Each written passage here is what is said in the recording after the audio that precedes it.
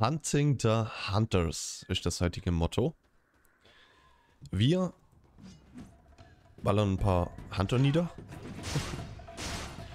Brauchen drei Stück von jeder Sorte hier einmal. Und noch einmal den ähm, Martis, den guten. Das soll der Leader von der Truppe hier sein. Aber ich denke, dass wir die relativ gut runterknüppeln können. Und dann würde ich sagen, gehen wir heute noch einmal nach Ingen in die Stadt. Und schauen, ob wir vielleicht sogar schon die Waffe herstellen können von Shadis. Weil wir haben ja letzte Folge fünf Juwelen von dem bekommen. Und ich bin mir schon echt ziemlich sicher, dass diese fünf Juwelen bestimmt reichen, um eine Waffe herzustellen. Rüstung würde ich sagen, brauchen wir jetzt nicht unbedingt, weil bisher kommen wir echt gut durch. Der Schaden hält sich jetzt ja auch mehr oder weniger in Grenzen. Und ein bisschen Damage. Ich glaube, da ist keiner abgeneigt von uns. Hier haben wir noch einmal den Martis.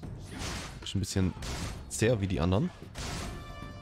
Aber das hat sich jetzt auch schon erledigt. Wir haben einen Questgegenstand bekommen. Der verlorene Sohn. Da bekommen wir einmal Hermits Ring Lizenz. Das heißt, der müsste hier irgendwo sein. Da oben. A Lost Sun. Da oben kriegen wir diesen Ring her. Vielleicht heißt der NPC sogar Hermit da oben. Würde mich auf jeden Fall freuen, weil ich habe immer noch keine Ahnung, wo sich der Gute befindet. Ähm, wir brauchen noch einmal einen Hunter und zwei Poachers, oder wie auch immer die ausgesprochen werden. Weiß gar nicht, wo wir die haben, weil ich ist ein lauter Magier nur. Da haben wir einen Poucher. Oder Pou Poacher. Was weiß ich. Ähm, und da haben wir noch einen Hunter. Okay, das ist jetzt uncool. Jetzt haben wir gerade die Gegner ein bisschen durcheinander. Heiltrank hat gezündet. Das war gerade auch echt notwendig. Ich habe gerade eben noch davon gesprochen, dass unsere Rüstung ja soweit passt. Aber dieser Typ da hinten, der ballert ja mal brutal Damage rein. Schon ein bisschen übertrieben. Ähm, ich glaube, es war ein bisschen zu früh gezogen. Uh, 112 Leben. Das war ein bisschen arg knapp jetzt. da ging mir jetzt gerade schon noch kurz die Düse am Schluss. Ich meine, das wäre jetzt echt peinlich gewesen, wenn wir bei diesen Trash-Mobs hier sterben.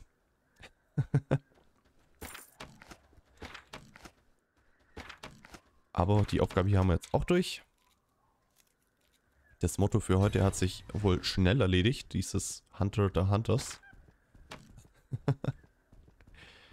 da haben wir den guten Hermit. Speak louder. okay. Habe bestimmt so ein OP synchronisiert. Boah, deine Geschichte interessiert keinen. Okay, I let you go. oh mein Gott, die ist so typisch klasse. Follow Lobo. Hallo Lobo. Wir haben jetzt auch übrigens einen Ring bekommen, wo wir uns hier wieder herporten können. Dann brauchen wir nicht hier immer zurücklatschen. Was ich mega cool finde. Ähm, mit Hermit können wir nicht interagieren. Dem müssen wir wirklich nur folgen gerade. Und was will der Gute uns denn nur zeigen? Knochen ausgegraben, den wir aber nicht anklicken können. Das wird es wohl nicht sein. Und laut seiner Körpersprache... Ah, eine Steintafel.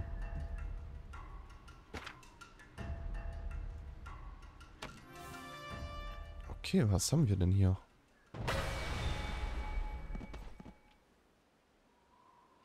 Da vorne ist ein Drache. Was die Steintafel wohl damit zu tun hat?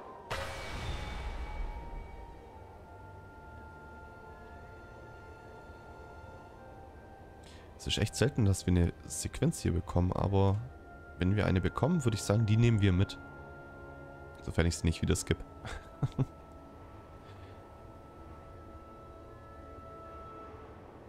da liegt der Gute, aber der sieht irgendwie nicht sehr lebendig aus.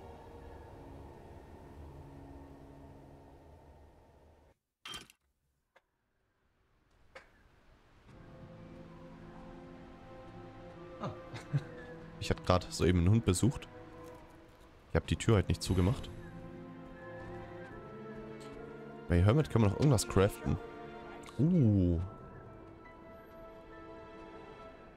Da gibt's schöne Waffen.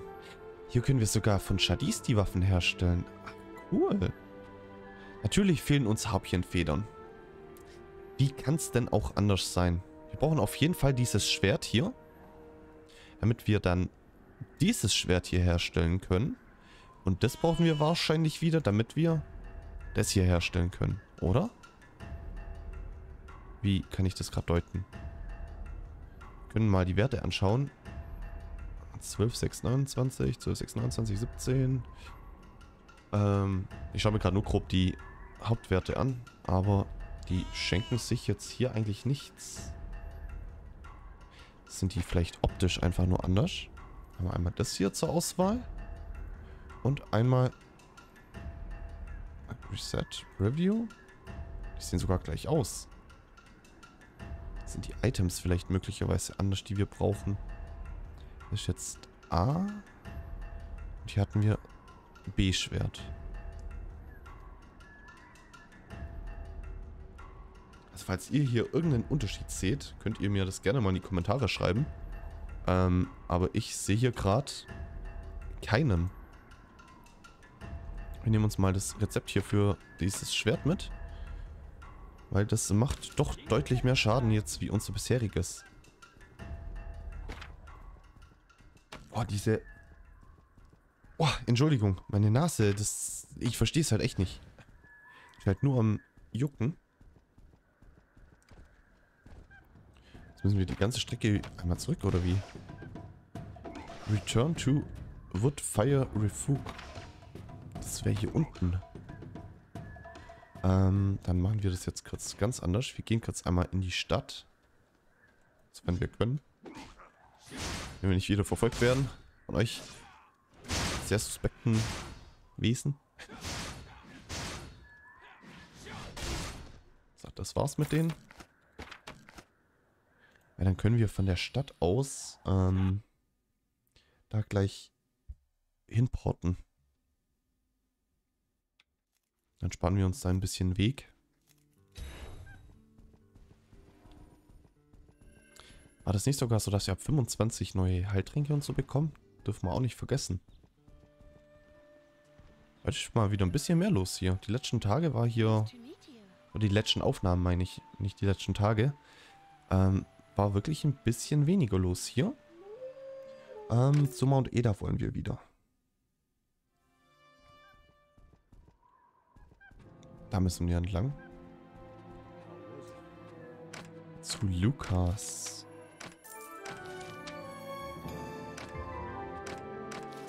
Der hat zwei neue Aufgaben für uns. Drei neue Aufgaben für uns. Okay, das sind immer noch die alten Aufgaben. Die nehmen wir nicht mit. Okay, wir müssen sogar schon hier oben in die nächste Zone. Wir schließen natürlich erstmal Mount Eda komplett ab. Wir nehmen jetzt noch ein paar Harpien mit, weil wir noch vier Federn brauchen. Die Waffe würde ich echt wahnsinnig gern herstellen. Vom Damage lohnt die sich halt richtig.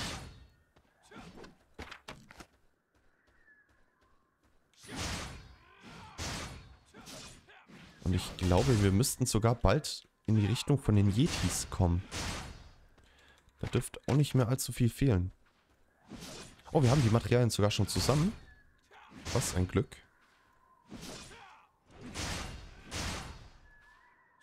Wir die hier mal noch kurz kaputt. Und dann gehen wir direkt weiter. Müssen wir jetzt sogar zu den Yetis hier hoch. Sind wir wahrscheinlich schon so weit? dass wir uns jetzt erstmal mit beiden Fraktionen vertraut machen müssen.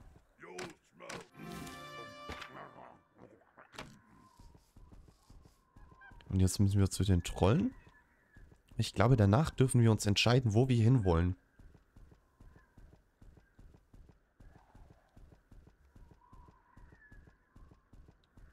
Aber wie gesagt, wir werden definitiv zu den Yetis rübergehen. Weil ich da einfach mehr Bock drauf habe. Hier können wir sagen, dass wir bei denen kämpfen müssen. I want to help you. Is there anything you need? Okay, ich glaube... Ähm... Haben wir jetzt schon eine Seite gewählt? Nee. Ich glaube, dazu kommen wir gleich erst noch. Müssen wir hier einmal zurück zu dem Archäologen. Mein Headset sitzt halt irgendwie auch nicht richtig.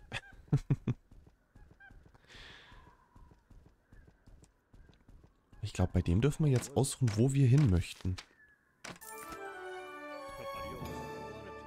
Genau, jetzt können wir wählen ob wir zu den Trollen oder zu den Ogern möchten. Aber wie gesagt, wir nehmen die Trolle. Ich meinte die Oger.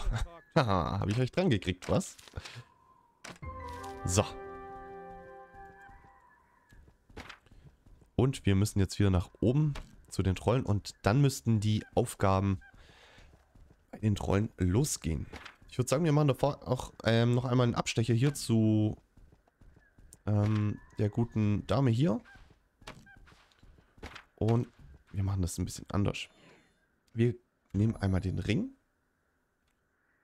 Porten uns dann nach oben zu Hermit. Und stellen uns erstmal unsere neue Waffe her.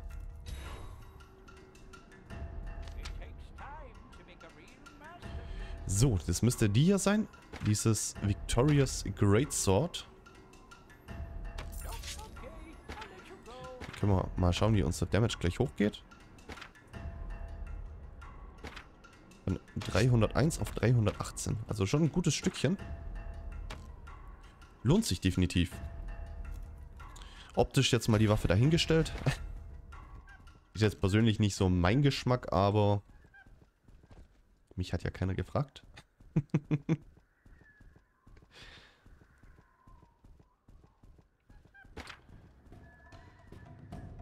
Dann gehen wir jetzt mal unten. Aber ich glaube, ich mache hier kurz mal einen Cut rein, weil ihr wisst Bescheid.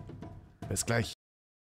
Wir sind zurück bei der guten Liara. Und unser Captain hat auch mal wieder den Weg zu uns gefunden. Langsam glaube ich echt, dass es irgendwie insgeheimer Stalker ist. Aber, pst. Wir haben jetzt wieder Aufgaben angenommen. Was habe ich jetzt hier wieder geöffnet? Gefettfingert, ähm, wieder Aufgaben angenommen, die wir nicht wollen. Oder? Ähm, die brauchen wir, glaube ich. Die brauchen wir nicht. Was ist denn das hier genau für eine? Mercenary of the Ogress. Das ist eine wiederholbare. Irgendwie glaube ich das gerade nicht, weil die gibt Fraktionspunkte. Das müsste eine einmalige Quest sein. Dann haben wir noch die hier. Da müssen wir aber in ein anderes Gebiet wieder rein. Ähm, jetzt muss ich gerade echt mal schauen, ob wir hier jetzt gleich vielleicht was Neues bekommen. Da sind wir bei den Ohren und genau hier bekommen wir jetzt neue Aufgaben. Da haben wir auch noch eine bei Ingvar. Es müsste, meine ich, eine Aufgabe sein, dass wir die Fraktion wechseln können. Ich bin da jetzt aber ehrlich gesagt nicht ganz so sicher. Da unten haben wir jetzt drei Aufgaben. Waren es gerade auch schon drei? Kann es gerade nicht genau sagen. So, wir sehen hier jetzt schon unser neues Overlay. Wir haben hier einmal... Ich meinte Interface Overlay? Wie dem auch sei, egal. Ich stehe gerade auf der... Sch äh, ja. Auf der Leitung. Hier haben wir einmal Mad Eye, das sind die Trolle und dann einmal Ogre. Und wir sehen immer, wie viele Spieler sich in dem jeweiligen Be äh, Gebiet von welcher Fraktion gerade befinden. Jetzt ging es eins hoch. Jetzt hat es uns als Spieler erkannt. Und so sehen wir dann eben immer, wie viele Leute gerade von der feindlichen Fraktion sich hier drin befinden. Wir bekommen hier auch noch ein paar neue Aufgaben.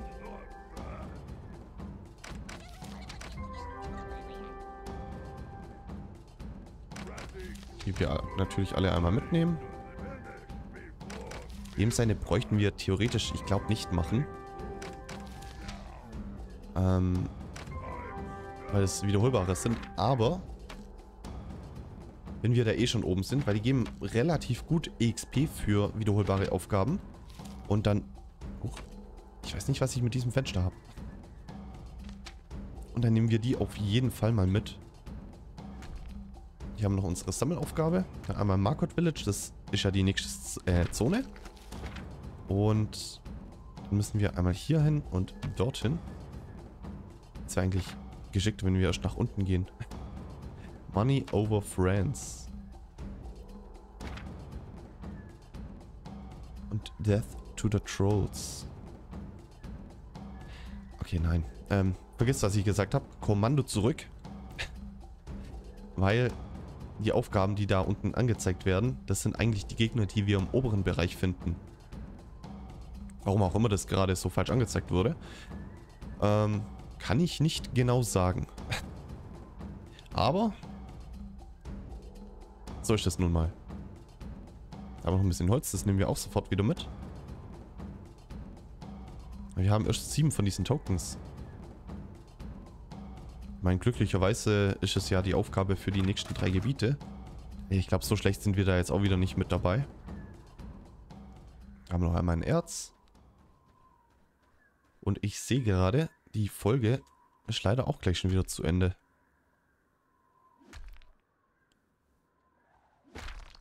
So. Und dann gehen wir in der nächsten Folge einmal in die Warzone rein.